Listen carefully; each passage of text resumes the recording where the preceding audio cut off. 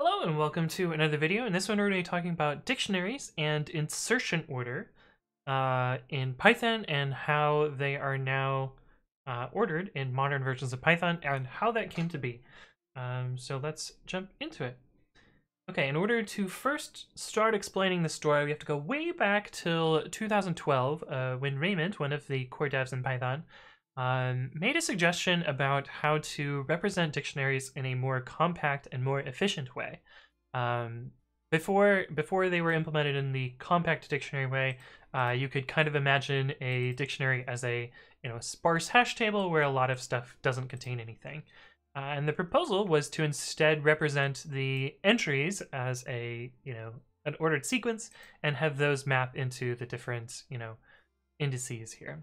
Um, and so this this necessarily meant that the representation was much more compact. Uh, it also had the nice side effect of being ordered based on insertion order, so you don't have to worry about you know, or or you can at least depend on insertion order being a thing. Um, and there's a whole bunch of here as well as some sample code here, um, but this was kind of the inception of this idea way back in 2012. Uh, the first implementation to actually take this idea and run with it was the PyPy project, a alternate implementation of of Python, um, written in a subset of Python and has a just-in-time compiler and a bunch of other cool stuff. Um, but PyPy was the first to implement this uh, in PyPy, well, whatever PyPy version associated with PyPy 3.5. Um, it also was released in PyPy 2 as well. So if you're if you're using PyPy uh, or a reasonably modern version of PyPy, you will have uh, this ordered property here.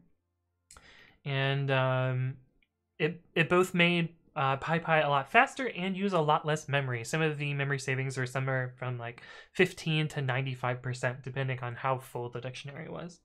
Um, but yeah, no, this goes over a lot of the uh, a lot of the implementation details and some of the side effects of that. I'm not going to reiterate this blog post there. Um, and then in Python 3.6, uh, the compact dictionary was also implemented, but in CPython. And at the same time, there was this proposal to preserve the order of keyword arguments in a function, both for uh, splatting with star star and for collecting with star star. Uh, this would allow you to preserve any order of named arguments in a function, and conveniently at the same time, CPython had impl implemented the compact dictionary, which also preserved the ordering there.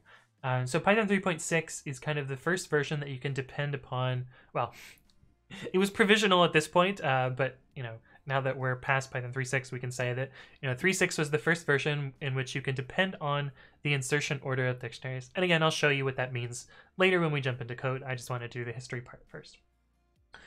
Um, and then, uh, you know, this was super convenient. People really, really liked this. It made code a lot more deterministic um, and was was much nicer to work with.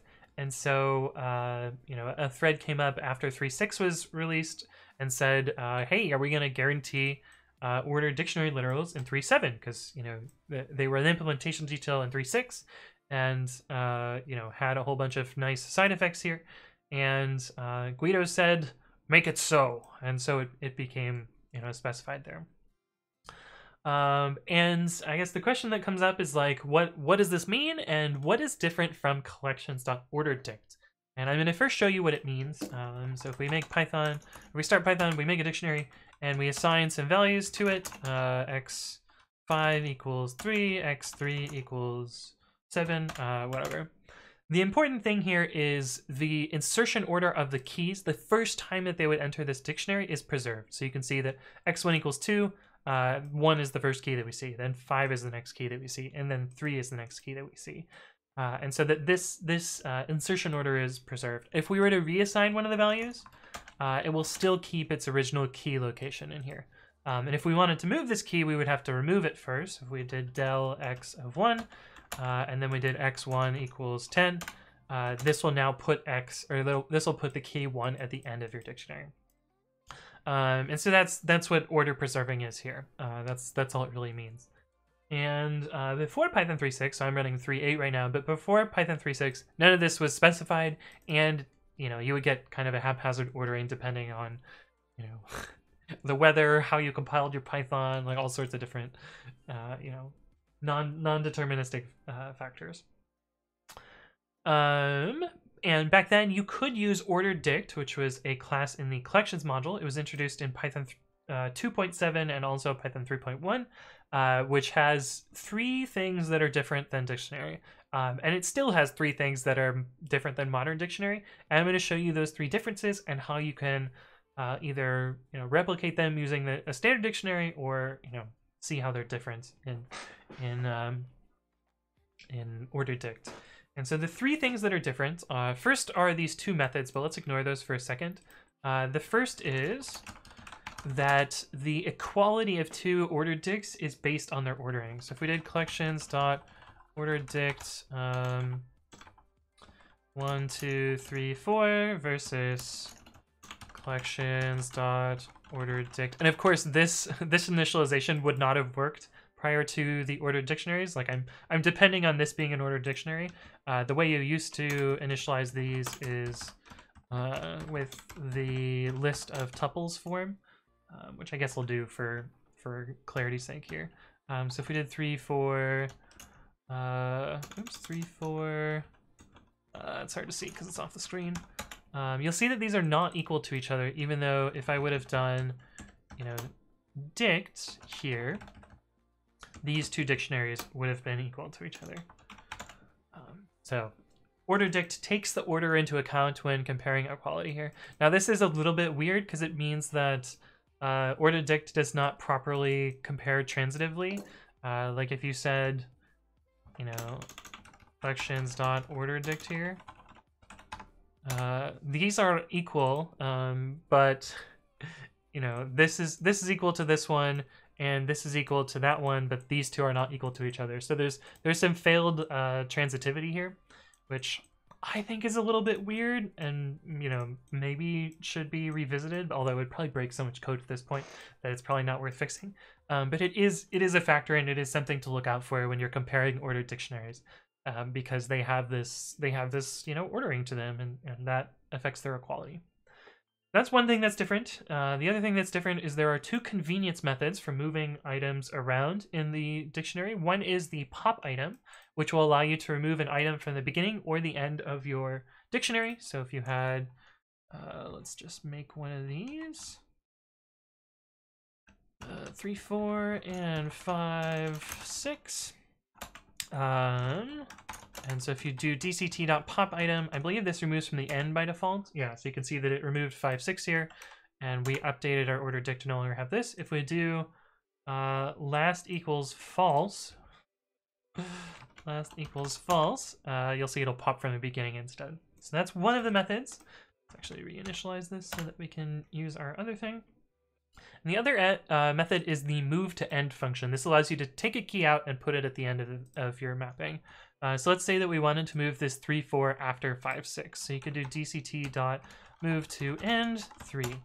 Um, and I guess you could also move it to the beginning by saying last equals true. oh, what a weird, what a weirdly named function.